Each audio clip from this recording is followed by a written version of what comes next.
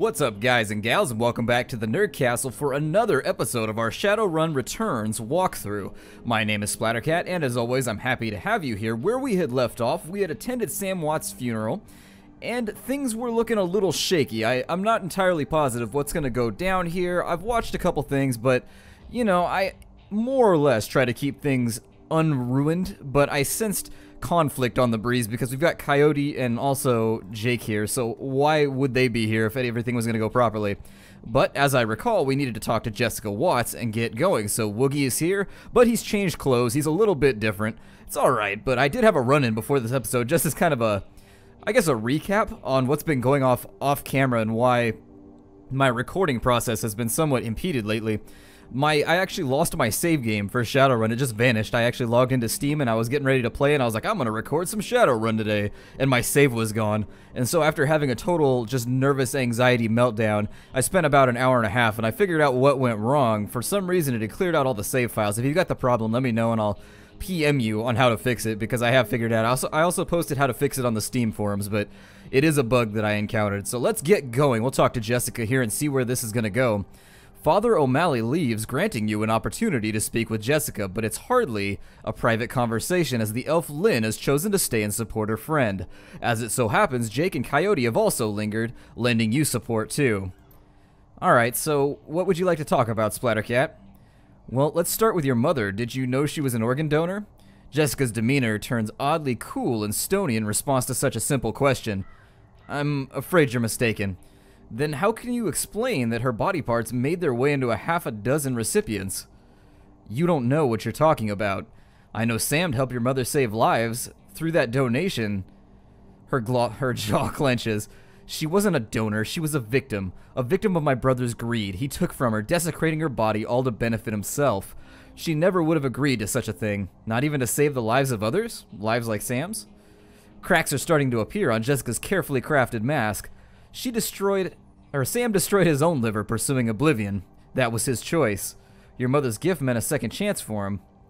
It wasn't a gift, it was stolen, and I wasn't about to let him destroy what little remained of her with his vulgar appetites, and so you hired Holmes to get it back.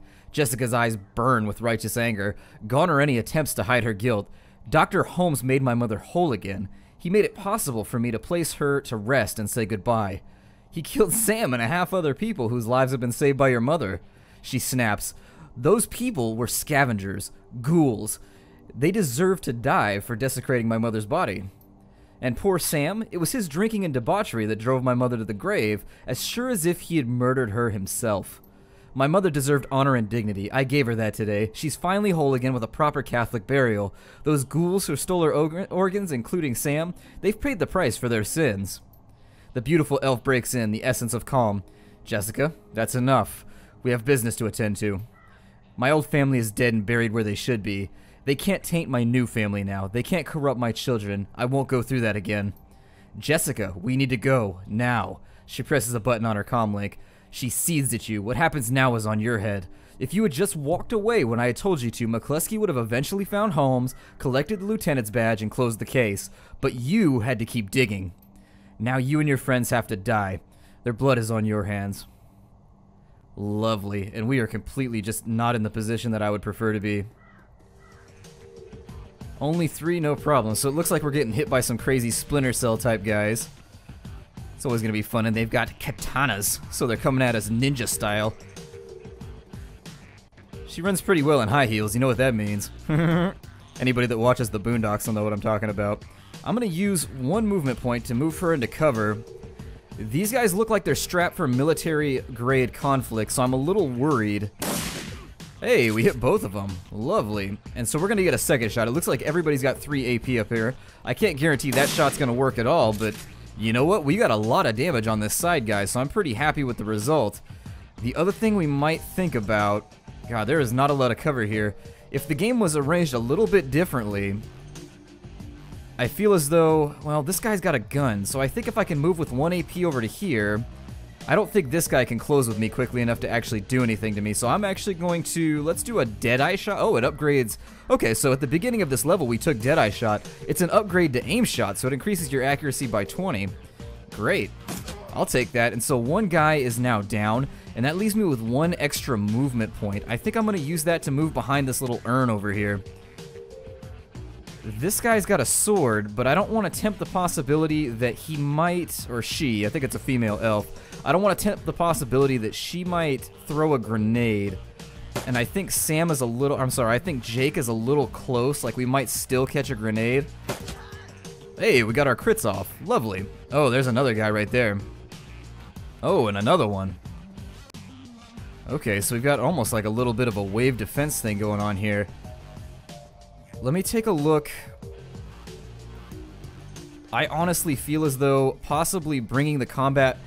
There's so much more cover back here that I think this is what I'm going to do. I'm going to fall back to here. I don't like this sleeve of ground right here. It's it's not optimal for the combat that we're going to be trying to fight. So I'm going to move her back to here. We'll take a turn and have her reload. And then we'll also, I suppose, have Jake take this alternate position right here. I'm going to turn on Woogie in just a moment and see if we can get him into position so that he can run back and forth and heal people. I'd like to play around with his abilities with the extra... Oh, he reloads for free. Really? I wonder if that's a pistol ability. That's cool. I didn't realize that he could reload for free. That's that's pretty impressive. He's also got magical skills. I didn't know that he was a... It looks as though he's a mage? Interesting. So with his AP that's left over, let's consider... Oh, he's got heals too. Okay, let's consider boosting Coyote's aim since she's using a shotgun. I'd love for her to be a little bit better at hitting people. Oh, yeah, that's what I was a tad worried about, is that I'm not really Oh, God, there's five of them now? Yeah, I was gonna say, Woogie appears as though he's the only one who's still exposed. So let me go ahead and switch over to Woogie's control panel here. Woogie's now turned on. I don't have a droid repair kit. What is this?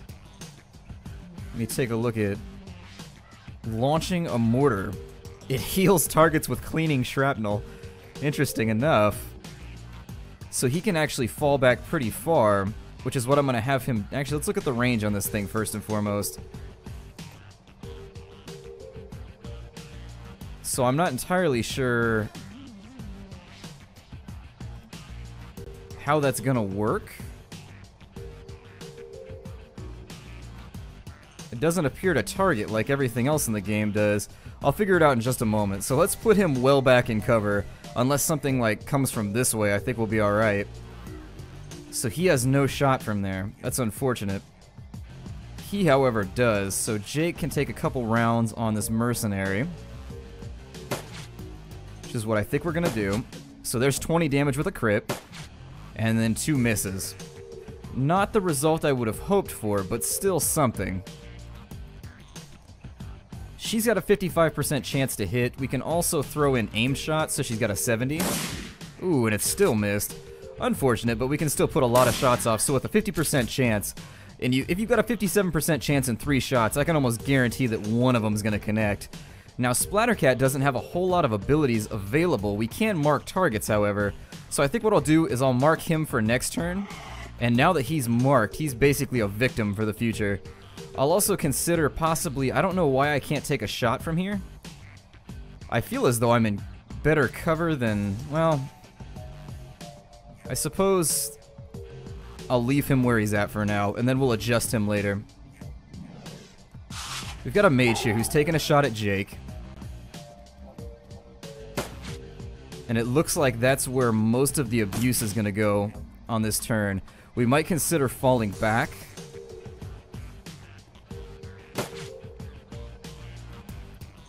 Just kind of watching what their movements are. Oh god, there's even more of them.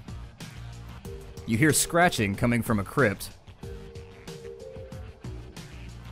We need to find out where Sam's sister might have gone. Maybe one of those guys can tell us with a little encouragement. So it's weird that I can't return fire here, but they're able to fire on me. That's something that makes me intensely suspicious of what's going on. Oh, wait a minute. Hold on here. Let me... Oh, it's because I didn't have my gun equipped. I'm a... Oh, God. Sometimes, sometimes I just don't know what to do with myself. So why isn't Woogie able to fire a grenade? Really? He's got like medkits and things? Well, how come that won't work?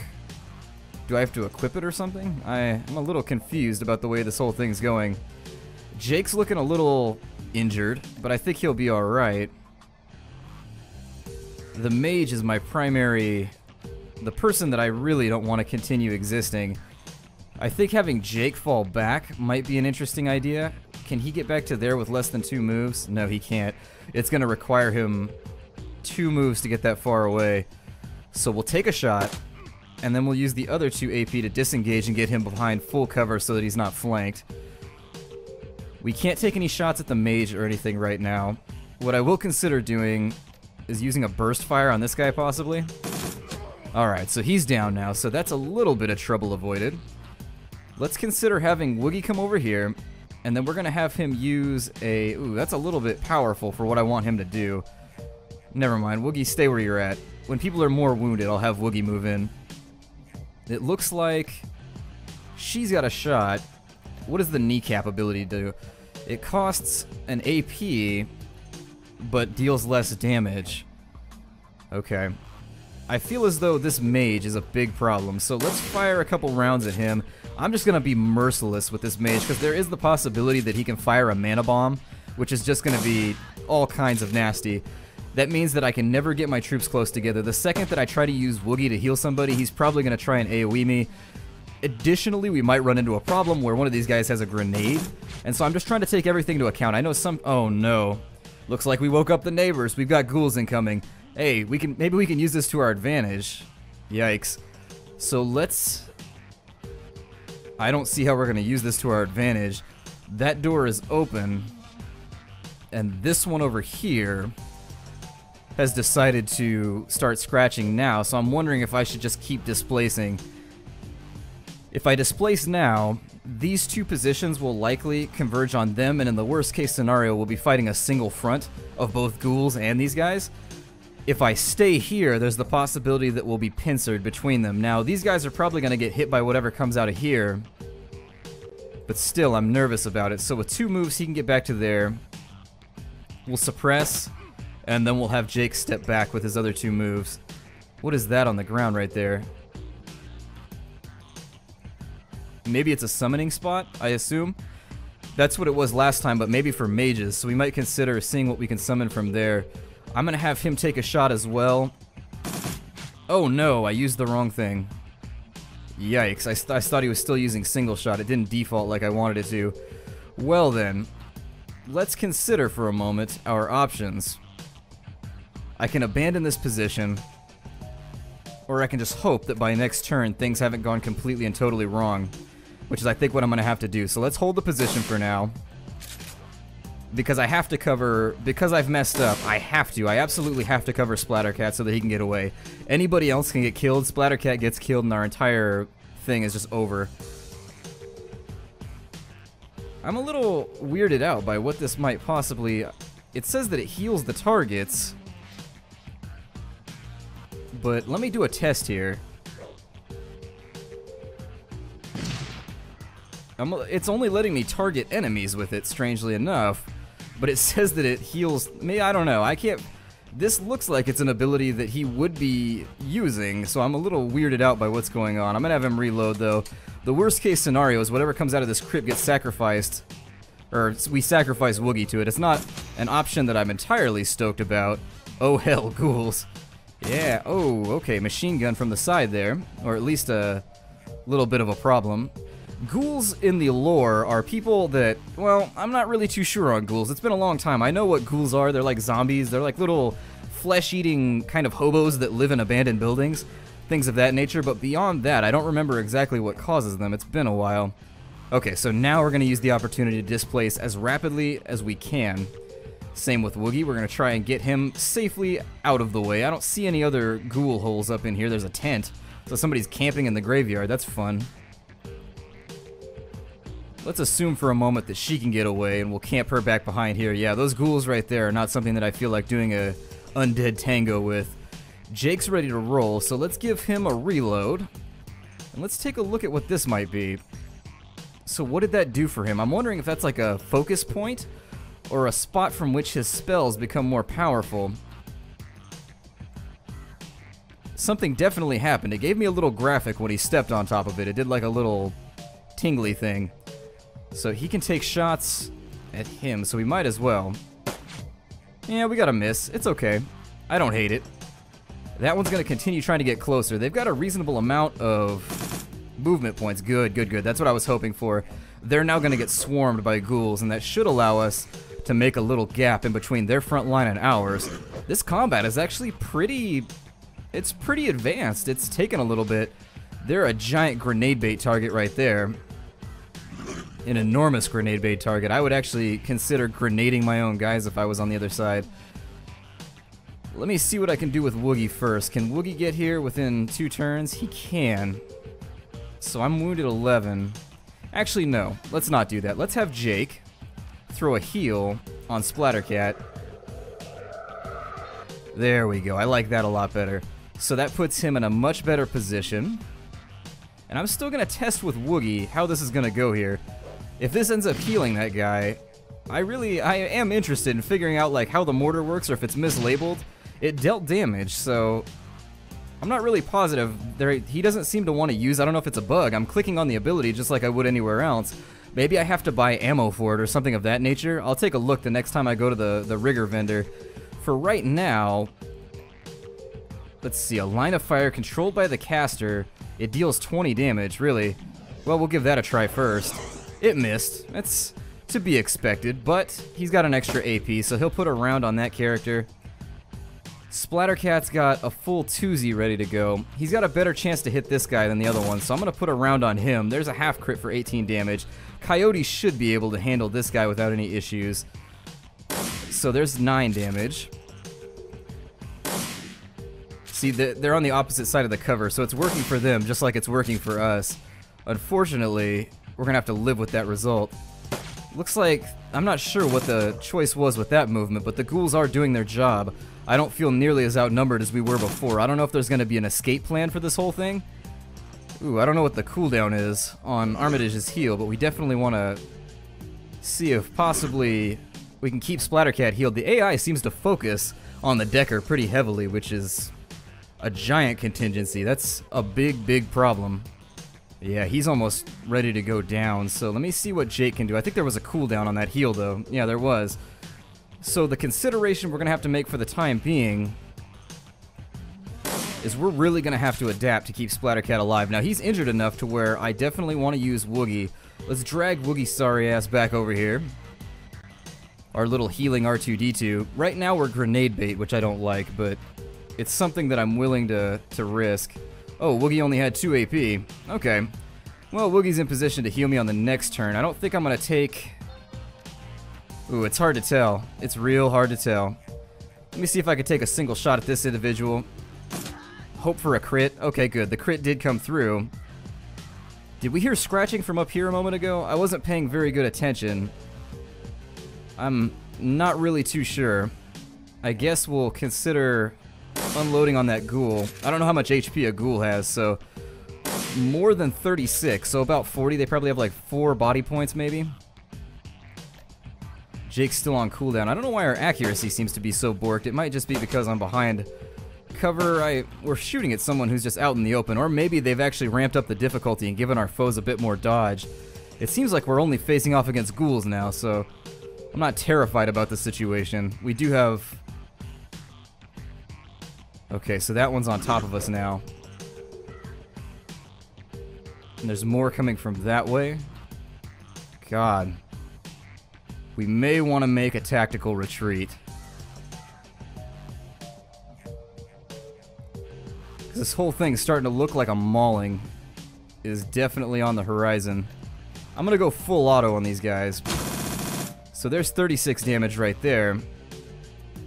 The other thing to consider is that Woogie has his own inventory, and I'm gonna heal up Splattercat. Let's see what she can do with a couple shotgun blasts. So he's down.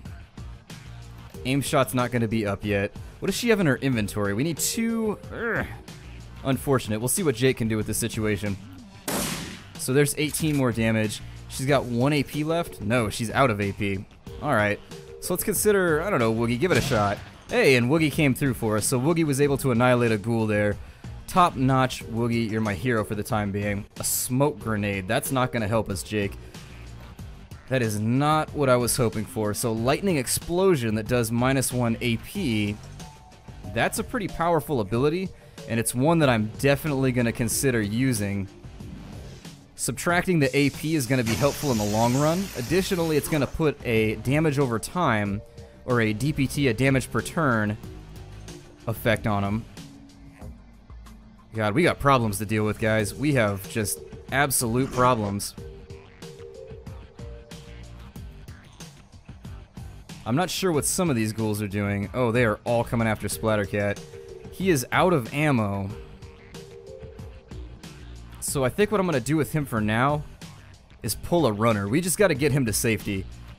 He doesn't have the AP to really pull off anything incredible, neither does Woogie. I don't really want to leave these guys to the wolves though either. So let me take a look. She's got enough AP to put a Cavalier frag grenade on them. So I think that's what we're going to try. Alright, fantastic. So we've got a little bit of a damage advantage going. But not so much that I feel comfortable. Alright, so it's now evened out a tad. And let's see what Jake has on board for us. Now, I still am not positive what this little thing is going to do for me. Let's kill what we can. That's always a good idea in turn-based games. Eliminate- ooh, that's a bad miss to have right now, but he made up for it by finishing the job there. Hopefully she can avoid him. Okay, good. Amazing. So let's reload. He's only got one AP left. So is his... Okay, his Deadeye aim is back up. So we'll take that shot for the 12 damage. I'll do a little bit of research in between episodes. I would almost guarantee they sort of do the same thing for mages in some respect. I'm not really sure if they act as foci or what they do. But for the time being, my guess is that it makes your spells more powerful. I'm not seeing any option to summon anything from them, so I'm not gonna... I mean, unless there is the possibility, maybe if you have a focus or something, I don't know. I'll look it up in between episodes. I'm learning things. I, I try not to play this game on the side because I want a first-hand experience with you guys. Some people hate that, some people like it. It's It seems like a toss-up with a lot of viewers. Ooh, two really bad misses up front. Two 80% misses in a row, like a 4 and 100% chance, so it's that's not so good, although that was just kind of back of the envelope math there, so I could be absolutely wrong. I can't guarantee that that mortar isn't going to hit Coyote, so I think I'll just have Woogie back off for now. Ooh, okay, so they put a nasty poison attack on you. That's fun. That is for the funsies. We'll take a multi-shot right there. Let's see what we can do with Jake for now. Jake's accuracy is not so good. I wish they would let me allocate his karma because I never like the way that developers put characters... Ooh, well, I never like the way that developers allocate the ability points on characters. I just don't like it. So there's a shot. Ooh, a 36 ringer of a hit. And so we've secured the cemetery. What a combat. Wow. I am just impressed. That was a great battle. I had a lot of fun with that one. I hope you guys enjoyed watching it because that one got my blood rushing a little bit. I wasn't entirely sure how we were going to resolve that whole thing. For a moment, I contemplated running this way, but I just don't know. Let's take a look inside the crypts, actually. Anything in here? I'm holding down the out key right now. We're going to check all of them. We're going to run around and see what we've got. But first and foremost, let's check this mohawkied black guy down here with those killer shades and see if we can maybe get some information out of him. You listen as the sounds of gunfire and spellbursts fade away and the silence of the dead returns to the cemetery. The man is beyond healing. As you look down at him, you notice the quality of his suit and shoes. This isn't a runner and he's not from the street. Jessica Watts, she hired you. Where can I find her? You get nothing. He convulses and then dies. We don't know each other too well, but it seems to me that you need to find a better group of people to associate with. Yeah, coming from Jake, given the events of the SNES game, I'm gonna I'm gonna take that advice with a grain of salt. Yeah, you're not the first person to tell me that. Yeah, well, it's part of living in the shadows. Do the research, chummer. So, how did those troops materialize? You didn't recognize who the elf was? Nah, who is she? She's Lynn Telestrian, super rich and super into the Universal Brotherhood. She's a major spokesperson for them in Seattle. Hmm. Jake grabs the dead man by the throat. At first it looks like he's trying to kill him again, but then you notice he's feeling for something under the skin. Yep, he's got a corporate ID chip. You watch as Jake pulls out his modified PDA and slots the chip. Mr. Wiley here was with Eagle Security. They work for the UB. That must have been Lynn Telestrian's security detail we just chewed through. If she's protecting Jessica, they'll be inside the Universal Brotherhood. If you're gonna hit the Universal Brotherhood, I'm coming too. That psycho just admitted she had my friend Sam and a lot of innocent people killed so she could put her dead mother back together. That's totally slagged up. Plus, she and her elf buddy Lynn just tried to geek me. They're gonna hurt for that. Yeah, given, you know, every time I look at her, they did a good job with her portrait. You can see just the violence in her eyes. I've known a couple females like that where you look at them and you know they don't put up with any trash. Suit yourself, lady. I was only stopping by to pay my respects to Sam. Merc hit squads in the Universal Brotherhood. Not my scene at the moment, but I can call up some of Delilah's runners if you want to go there now. Let me know what you decide. Yeah, let's take a look inside the crypts. I'm not really sure I want to jump ship at the moment and go in between zones. We've got 8 Karma to play with, and given the nerf they gave us in that last go to our overall hit percentages, I'm not happy with the way we were missing a lot. I mean, we had some bad rolls, and there's only so much you can do about bad rolls. Like those 80% chance, you know, those 80% chance shots that we missed back to back, that's something you can't really do anything about because that's really the dice just being like F you and giving you a giant dicey ivory middle finger, but the 56% and things, I'd really prefer... Oh, there we go. So we've got some stuff we can loot up here. We picked up jazz, so there's a little bit of drug paraphernalia here in the cemetery. Not exactly the location that I would choose to have a trip at. But, you know, some people, some people like to float in very odd places, so... Let's see here, a Cavalier frag grenade. I'm actually going to swap that out for... Let me swap that out for the drugs that I have on hand. I would very much like to have that grenade. We're not so good at throwing grenades for the time being. I may give it to Coyote to replace the grenade she used up in the last bit of combat. I'm going to continue swooping through, though. I want to make sure that we find everything there is to loot at this location before we get on out of here. We've got a little bit of time left in the video, not enough really to go to the next zone anyway, so this is really just a way for you guys to extend your time here at the Nerd Castle for the day, something that I never have a problem with. After almost losing my save file, I am really excited to play the game. It's something that... God, it's made me paranoid. It really, I was up on the Harebrained Schemes forums just like an inch away from raging. Uh, Force 4 Abomination Elemental. Let's send that to the stash because that's not going to be very useful for me. Why that's hanging around in a cemetery, I'm not entirely sure, but that is a pretty powerful... That's a pretty powerful avatar for somebody to be summoning. A Force 4 is no joke, so... Let's talk to Jake, and we'll see what happens here. We'll read the introduction to the next zone, if indeed we can. Let's see, the Brotherhood probably retains mercs like the one that just attacked us for their security detail. You're gonna need a full team if you're heading into their chapter house. I can arrange for some of Delilah's runners to meet you there, though, if you want to go now. Nah, I'm gonna stop at the Union first and gear up. Let's go ahead and do that. And I guess the exit was up here, even though we came through that way. Let's head back to the Seamstress Union. We'll do the load in there, and once we've loaded in, I'll cut the episode out, and we'll be good to go for the day. Looks like that's gonna be my exit right there. I don't see anything else to loot, so... You'd think somebody would come around every now and again to clear out the tents. I mean, I've seen homeless people live in cemeteries before, and like under bridges in my hometown and whatnot, but Never to that extent, like dozens of tents around. You put the pieces together. Jessica Watts was reassembling her mother, Melinda, gathering her missing organs to allow Melinda a decent burial. Organs that Sam sold for a quick buck after her death. The ghoul attack after the ceremony didn't appear to be part of Lynn Telestrian's attempt to get you out of Jessica's way. They were just more victims of the magic's helter skelter return to the world. Lynn's well armed security unit was a different animal entirely. You head back to the Union to resupply and rearm. Whatever Lynn and Jessica are involved with, it appears to be a large operation, and the trail leads to the Universal Brotherhood. Alright, guys, so I'm thinking this is a really good spot to break off the episode considering it just auto-saved for me, and the save system in this game's a little janky. It's not something that makes my job any easier, but I try to take opportunity when it comes by. We have almost landed exactly on the 30 minute mark.